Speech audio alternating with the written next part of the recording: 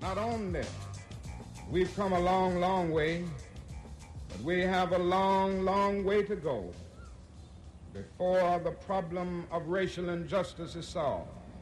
Um, so the MLK event is um, um, it's it's entitled 50 Years After MLK: A Dream Deferred.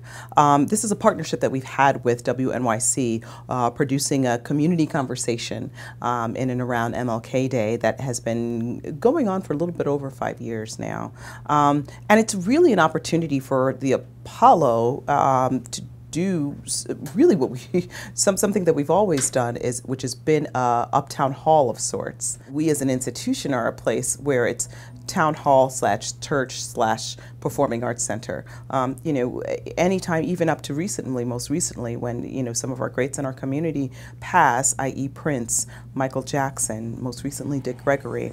Um, naturally, not even precipitated by us, the institution, but the community finds their way here as a gathering place to mourn, um, to celebrate a life.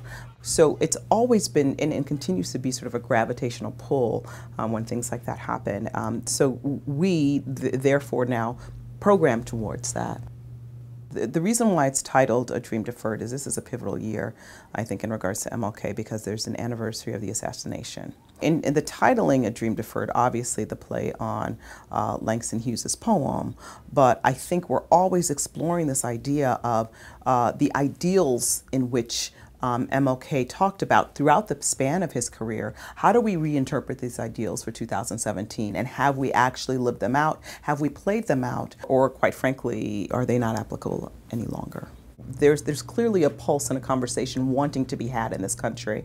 Um, and as an arts institution, we feel it's our responsibility to respond to that calling.